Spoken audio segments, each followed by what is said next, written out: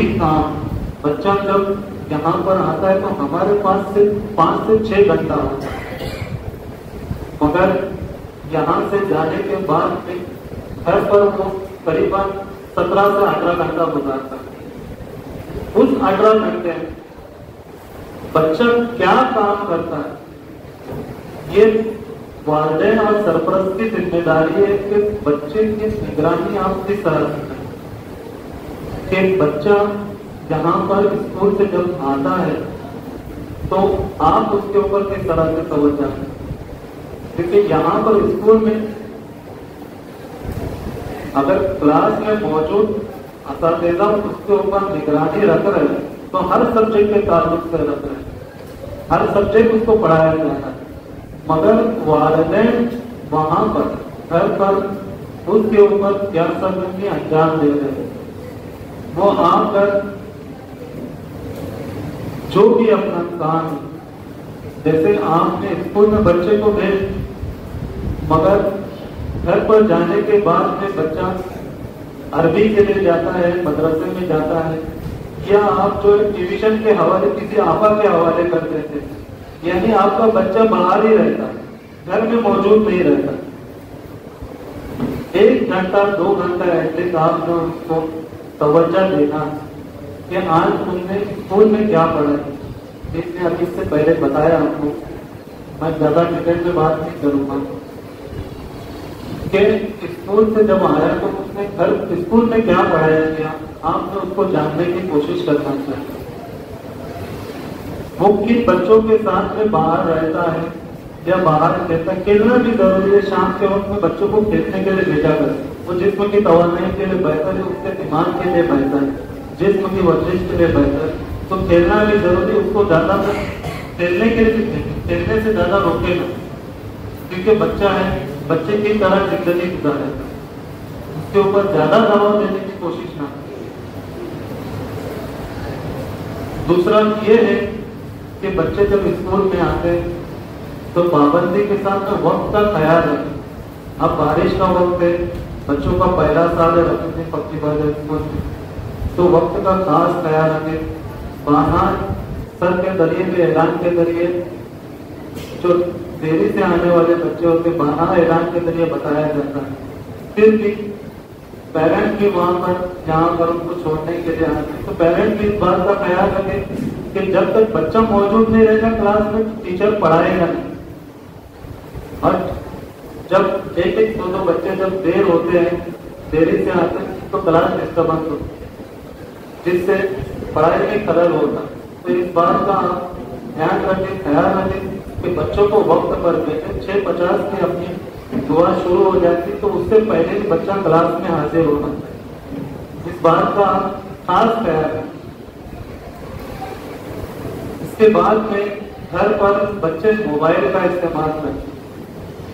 कुछ वक्ती तौर पर आप उन्हें खेलने लिए मोबाइल बनाने वाले ने अच्छी चीज़ बनाया उसका अच्छे इस्तेमाल के लिए बना, मगर हम उसका बेजा इस्तेमाल करते हम बच्चे को मसरूफियत के लिए, हमका काम निकालने के लिए बच्चे के हाथ में मोबाइल दे देते, बेटा तू बैठ जा मोबाइल देकर मगर बच्चा मोबाइल पर क्या चीज़ देख रहा है, क्या कर रहा है, कौन से गेम खेल रहा है, इसके ऊपर तवज्जो देना बहुत ज़रूरी हम अपने घर के काम आसानी से हो जाए, बच्चे को हम मोबाइल दे देते एक घंटा, दो घंटा देखता है।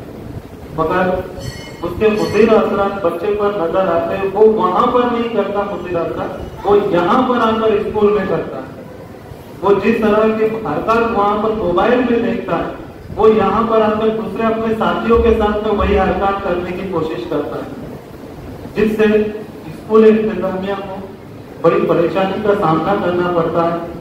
इस बात का आप ख्याल रखें कि बच्चा अगर मोबाइल इस्तेमाल करता है तो थोड़ी लिमिट में और आप उसके ऊपर निगरानी रखें कि वो क्या चीज़ कर रहा है उसके रोज़ाना की हाजिरी बच्चों की बहुत ज़रूरी है। गैर हाजिरी, जहाँ पर किसी वजह से गैर हाजिर बच्चा रह सकता है, किसी बुखार वजह, बुखार वगैरह आ जाए तो हम उसको कंसिडर कर सकते हैं। मगर बार बार गैर हाजिर होना बच्चे की पढ़ाई के लिए नुकसान दे तो इस बात का पेरेंट्स ने ख्याल रखना चाहिए कि बच्चा गैर नहीं रहना चाहिए। जो स्कूल में पढ़ाया जा रहा है होमवर्क वगैरह बच्चा कर रहा है या नहीं कर रहा है, इस बारे में भी आप देखिए। साथ ही साथ में दीनी तालीम के साथ में दुनिया की तालीम तो यहाँ से उसको हासिल हो रही है। मगर दीनी तालीम वो नमाज़ जा रहा बारह यहाँ पर ऐलान के ज़रिए, यहाँ पर खास तौर पे पहले के ज़रिए तो बारह क्लास में यहाँ पर बोला था कि बच्चा नमाज़ पढ़ा तो इस बात का ख्याल रखें, नमाज़ की पाबंदी कराइए बच्चों को। और बच्चे अपनी जबान का सही इस्तेमाल करें। बच्चे जिस माशरे से आ रहे हैं कहाँ से आ रहे बच्चा घर के माहौल में रह रहा है तो बच्चे के साथ में आपको किस तरह से, किस लहजे में बात बच्चा यहाँ पर आके उस तरह की बातें करता तो बच्चों के साथ में पोलाइटली अच्छे से, अच्छी जबान से बात करें। ताकि बच्चा दूसरे के, दूसरे माहौल में, जब स्कूल के माहौल में आ रहा है तो अपनी जबान को सही इस्तेमाल करें। या बाहर जब वो रह रहा है किसी और बच्चों के साथ में तो वो किस तरह के बच्चों के साथ में खेल रहा है उठ रहा है, बैठ रहा है, जा रहा है, कहाँ जा रहा है?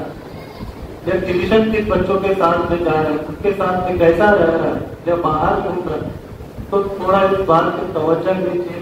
जबान जो है, बच्चे का बहुत असर रखती है, क्योंकि